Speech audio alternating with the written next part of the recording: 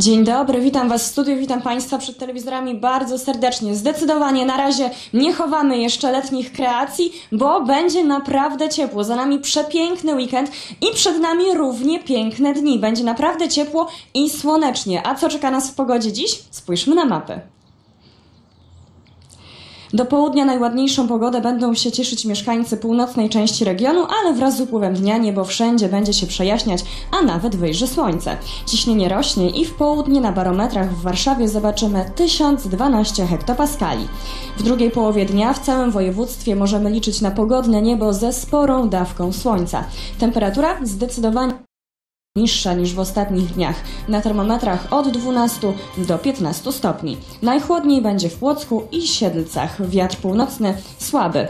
I prognoza na kolejne 3 dni. We wtorek po mglistym poranku wszędzie zaświeci słońce i ociepli się do 17 stopni.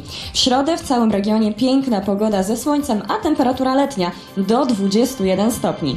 W czwartek także bardzo ciepło i dużo słońca, a więc mamy jesień w pełnej krasie. I tylko dziś tak naprawdę musimy przygotować się na ten nieco chłodniejszy dzień, no ale przed nami piękna, letnia jeszcze aura. My widzimy się tuż po 7.30. Do zobaczenia! To wszystko już jasne, jeśli chodzi o pogodę, przynajmniej e, e, mniej więcej, bo